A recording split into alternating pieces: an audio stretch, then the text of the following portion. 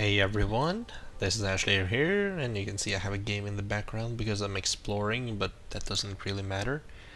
We are here for my guide on how to get Steam to work with Smite, and here we have my forum post.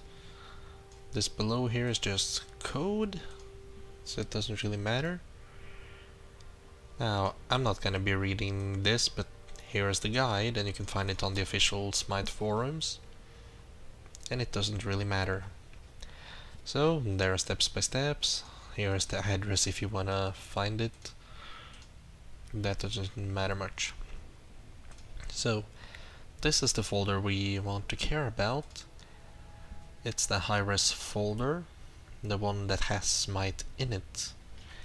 I do believe that this is what launches Smite, but this is an old shortcut and doesn't work anymore and you have to use the desktop shortcut one, which is this. The weird thing, it doesn't have an icon. Uh, it used to have one, but after I reinstalled a few things, it just didn't. So whatever. So for this, you want to move the Smite shortcut into the folder it's from. Now if it's on your desktop, you can right click it and you can go to open file location which will take you to the Smite folder and show you what program it's shortcutting to. And then you just drag the Smite shortcut in here. Same with this Steam overlay.vbs. This one also has to be inside this very folder. And here is all all the code and how it works and blah blah blah blah blah.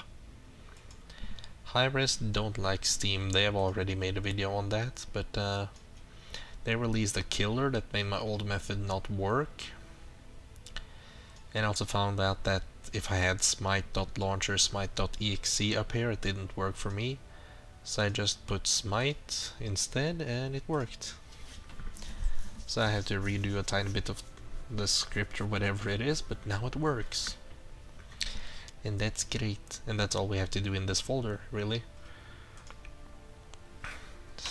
So, if we go into Steam, here is Smite that I have added to Steam. How we do this, we go to add game, add a non-Steam game. We go through the list, hopefully if we go on S, Smite should pop up and here it is. But I've already done that. And then it appears in the library on the list here, so we can right click, go to properties, name it whatever you want, it's very important that it starts in this. And this these quotations are necessary. Now it sucks that NB is on the right here because I can't see everything in the in the freaking box. But whatever. We can see it ends with steam overlay.vbs and it ends with quotes. I'm not sure if the .vbs and .exe is needed on in, in this target area, but uh,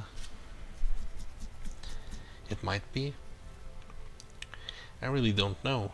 I'm just using them because it works. And that's it.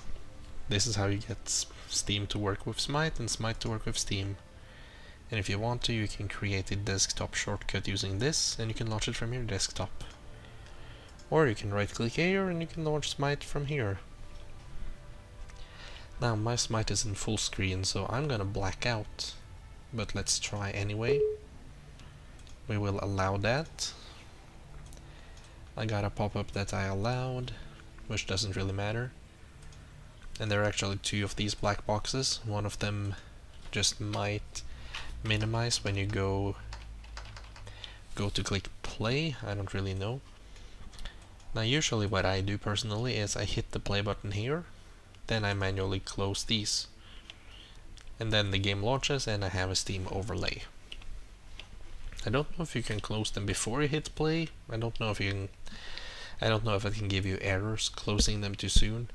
I know Dean used a version of this before for a different game and it didn't work. And it came down to him closing the black boxes too soon. Then again, he has a slightly slower PC than me that is also years older than my current PC. So maybe it has to do with hardware, I don't know. But anyway, that was my very short guide on how to get Steam and Smite to work together because Hi-Rez have a Steam killer installed that makes Steam not work with Smite. So you have to do some custom scripts to, to actually get it to work. And I still have Shadowplay working with Smite, so that's pretty neat. Thank you for watching, and I'll see you next time. Feel free to subscribe for more guides and gameplay videos, and mostly vlogs, but you don't have to. And if you leave a like or dislike and a comment, I would really appreciate it. So thank you, hope you have a wonderful day, and I'll see you next time. Bye bye.